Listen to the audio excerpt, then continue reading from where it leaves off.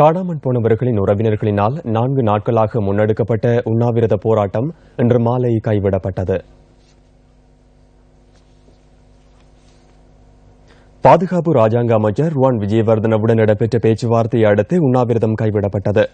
இவர்களின் கோரிக்கை தொடர்பில் பிரதமர் பாதுகாப்பு ராஜாங்க அமைச்சர் மற்றும் சட்டமா அதிபர் ஆகியோருடன் எதிர்வரும் ஒன்பதாம் திகதி கலந்துரையாடலை நடத்துவதற்கு எழுத்து மூலம் வாக்குறுதி வழங்கப்பட்டதன் பின்னர் போராட்டம் கைவிடப்பட்டதாக எமது பிராந்திய செய்தியாளர் குறிப்பிட்டார்.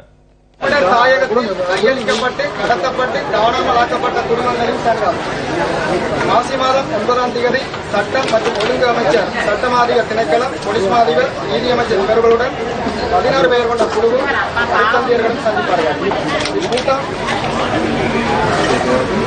காலை பதினோரு மணிக்கு அலரி மாளிகையில் இடம்பெறும்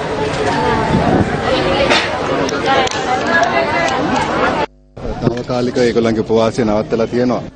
தற்காலிகமாக இவர்களின் உண்ணாவிரதம் கைவிடப்பட்டுள்ளது இந்த பிரச்சனையை நாம் மிகவும் ஆழமாக நோக்க வேண்டும் அவர்களின் உறவினர்கள் காணாமல் போயுள்ளனர் இவர்களின் கவலையை நாம் உற்று நோக்க வேண்டும் இந்த குடும்பங்களை இன்னும் இரண்டு வாரங்களில் அலரி மாளிகைக்கு அழைத்து கலந்துரையாட உள்ளோம் போலீசாரோடு விசாரணை செய்து அவர்களுக்கு என்ன நடந்துள்ளது என்பதனை அதன் போது கூற முடியும் அதன் மூலம் அவர்களின் வேதனைக்கு ஓரளவு ஆறுதல் கிடைக்கும் என்று நினைக்கின்றேன் පොලිසිය විසින් පරීක්ෂා කල්ලා පරීක්ෂණ පවත්වලා කටට මොකක් දුන්නේ කියන එක ඒගොලන්ට එදාට අපි පැහැදිලි කරලා දෙන්න පුළුවන්. ඉතින් මම හිතනවා ඒකෙන් ඒගොලන්ට යම් කිසි ඒගොලන්ගේ වේදනාවට යම් කිසි සහනයක් අපිට ලබා දෙන්න පුළුවන්.